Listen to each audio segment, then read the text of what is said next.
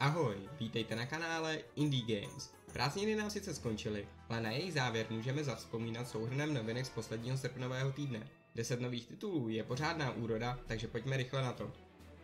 Jako první si představíme hru Baldo The Guardian Alls od italského studia Naps. Vývojáři ji měli v šuplíku přes 15 let a původně měl projekt jiný název a byl určen pro úplně jinou platformu, konkrétně pro Game Boy Advance. Až nástup nových technologií umožnil lepší stínování kreslených filmů a tak hra mohla spatřit světlo světa. Co vás hned na první pohled zaujme, je krásný vizuál, který silně připomíná tvorbu japonského animovaného studia Ghibli. Nemusíte zrovna patřit mezi otaku, abyste znali jejich filmy jako Princezna Mononoke nebo Cesta do fantazie. A o co jde v samotné hře? kůži Balda cestujete otevřeným světem, potkáváte řadu své rázných postav, řešíte hádanky a zkoumáte dungeony. A jelikož se hra inspiruje sérií The Legend of Zelda, nesmí chybět ani souboje. Za 640 korun získáte titul s poutavým příběhem, originálním soundtrackem a opravdu úchvatnou grafikou. Další novinkou, která nezapře vliv japonského animovaného stylu, je logická plošinovka Hoa od singapurského studia Scrollcat. Hlavní postava, jejíž jméno znamená ve větnamštině květina, patří ke kmeni Víl.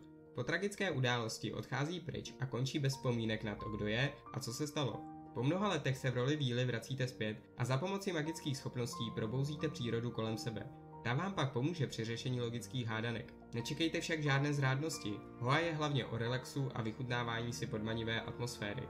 Hra je dostupná na Steamu i Gogu za cenu 320 korun. A do třetice tu máme hru Behind the Frame, která se taktéž inspiruje vizuálem země vycházejícího slunce. V roli začínající malířky procházíte 6 kapitol, během kterých musíte odhalit různá vodítka a vyřešit několik hádanek. Každé kapitole získáte odměnu v podobě barvy, která poslouží k dokončení vašeho finálního díla.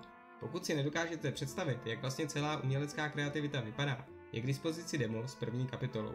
A chcete-li tajvanské vývojáře ze studia Silver Lining podpořit, můžete si jejich hru zakoupit. K nákupu nemusíte využít ten Steam. Za 210 korun je hra dostupná i na Epiku, Gogu nebo Itch.io. Mimochodem, takhle si představuji pořádný výběr platform, na kterých si hru můžu zakoupit.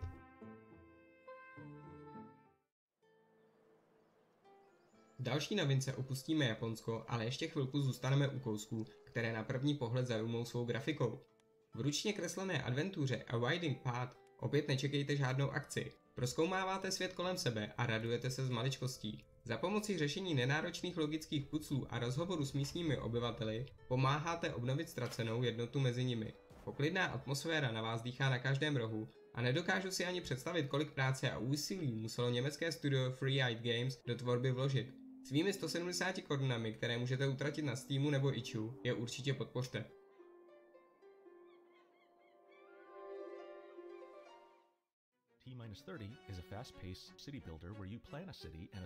Od poklidných her se dostáváme k něčemu svižnějšímu. T-30 je rychlá strategická hra pro jednoho hráče, ve které plánujete město, manažujete suroviny a stavíte vesmírnou flotilu.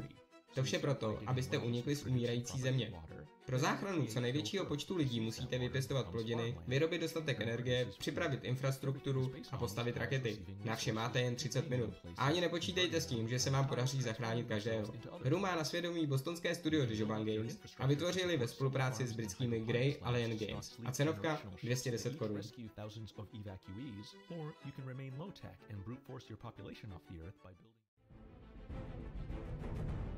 A kam jinam se po apokalypse uchylit než na Mars? Hru Reshaping Mars tak můžete brát jako jakýsi sequel k předchozí hře. Na rudé planetě začínáte od nuly a jako ve správném kolonizačním simulátoru těžíte nerosty, zajišťujete energii a vodu, obstaráváte potraviny a novým přistěhovalcům musíte zajistit ubytování. A aby byla kolonizace úspěšná, je nutné vyvinout zcela nové technologie. Zajímavostí je, že na vývoji této hry pracoval jen jeden vývojář, vystupující pod jménem Tolus. Svými 210 korunami můžete jeho snahu ocenit.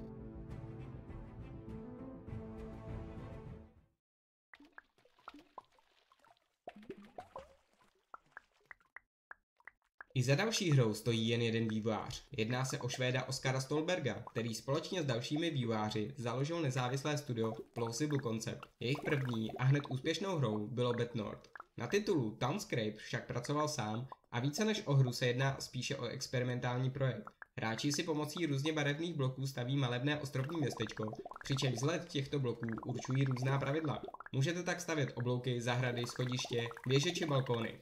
Vaše stavění se odehrává na velké deformované mřížce, což umožňuje vytvářet města, která působí organičtěji. Jak se tato hříčka vyvedla, si můžete vyzkoušet na Steamu za 130 korun.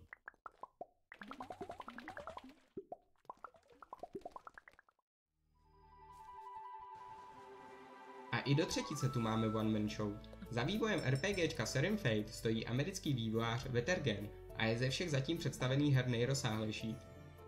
Na první pohled vypadá hra jako klasické pixelartové RPG, na druhý pohled však odhalíte silnou inspiracemi hrami jako Minecraft, Stardew Valley nebo Pokémon, ze kterých si snaží brát to nejlepší a nejzábavnější. V samotné hře se proměníte v čarodějnici, která se za pomocí nově nabité magické moci musí postavit zlu. Při průzkumu světa likvidujete příšery, odhalujete starobylé relikvie a snažíte se obnovit kámen osudů. Na jednoho člověka se jedná o opravdu ambiciozní projekt, který můžete získat na Steamu nebo Gogu za 430 korun.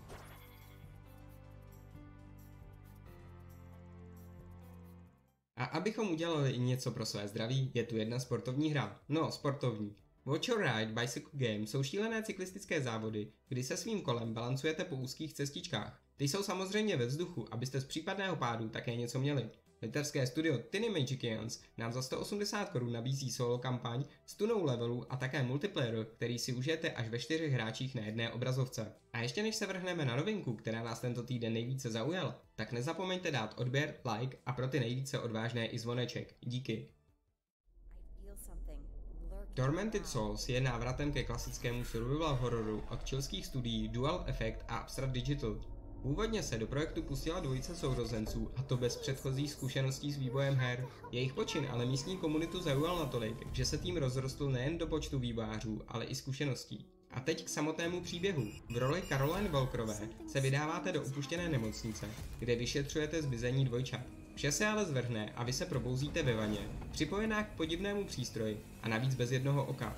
Hra se inspiruje starými klasikami jako Resident Evil, Silent Hill nebo Alone in the Dark. Hororová atmosféra je podpořena statickou kamerou, která je však na rozdíl od historických kousků přece jen o něco dynamičtější. Kromě bojů se zlověstnými nepřáteli se budete muset soustředit i na uštění logických hádanek. Bez jejich vyřešení se nedostanete dál. A aby toho nebylo málo, tak vás zrcadla mohou poslat do jiných dimenzí. Za 510 korun se jedná o parádní kousek, který na Steamu získává velmi kladné hodnocení. A to by bylo pro tento týden vše, uvidíme se zas příště, čau.